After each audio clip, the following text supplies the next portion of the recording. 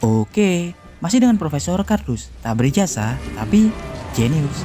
Ya, tahukah Anda, hampir 150 tahun lebih umat manusia menggunakan bahan bakar fosil, terutama minyak bumi, gas alam dan batu bara. Eksplorasi dan penambangan besar-besaran telah dilakukan di seluruh penjuru bumi untuk mendapatkan sumber daya petrodolar ini. Selain keuntungan ekonomi, banyak dampak buruk yang disebabkan oleh penggunaan bahan bakar fosil, seperti kerusakan lingkungan, emisi atau polusi gas buang yang meracuni atmosfer bumi, yang memicu pemanasan global, bahkan konflik sosial yang kerap terjadi demi menguasai sumber daya tersebut. Tapi diketahui, dalam beberapa dekade terakhir, umat manusia mulai memikirkan dampak buruk yang ditimbulkan oleh eksplorasi besar-besaran dari penggunaan bahan bakar fosil, terutama mengenai dampak perubahan iklim dan global warming. Berbagai cara dan usaha telah mereka lakukan, salah satunya dengan mengembangkan perangkat-perangkat dan instalasi penyedia energi terbarukan dan ramah lingkungan, seperti sumber pembangkit energi surya, energi nuklir, energi hidro, tidal energi, dan lain-lain. Juga dengan menciptakan dan mengembangkan unsur, senyawa, atau material lain untuk bahan bakar pengganti energi fosil. Sebut saja bahan bakar berbasis hidrogen, propana, bahkan biofuel atau biomasa yang diciptakan dari bahan organik.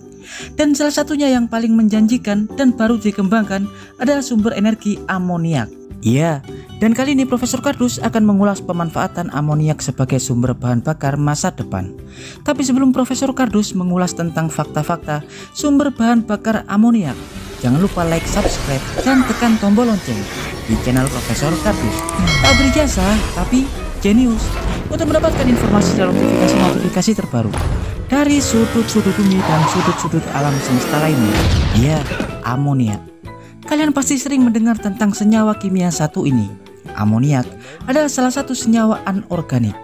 Amoniak merupakan perpaduan nitrogen dan hidrogen. Amoniak atau NH3 merupakan senyawa gas dengan ikatan molekul satu nitrogen dan tiga hidrogen. Selain berbentuk gas, amoniak juga dapat didinginkan. Pada suhu minus 33 derajat Celcius, amoniak dapat membentuk liquid atau cairan. Cairan amoniak harus disimpan di bawah tekanan dan suhu rendah. Ya, amoniak sangat jarang ditemukan di bumi, tapi amoniak dapat diproduksi. Banyak pabrik yang memproduksi amoniak. Umumnya diproduksi dari proses steam reforming atau menguraikan bahan atau unsur lain untuk menciptakan amoniak. Hampir 88% produksi amoniak di dunia digunakan untuk campuran pembuatan pupuk urea atau diamonium fosfat untuk nutrisi organisme atau tumbuhan. Dan diketahui, selain digunakan untuk pembuatan pupuk, amoniak sangat baik ketika digunakan sebagai bahan bakar. Kandungan hidrogen dalam amoniak dapat melakukan proses pembakaran dengan sangat baik.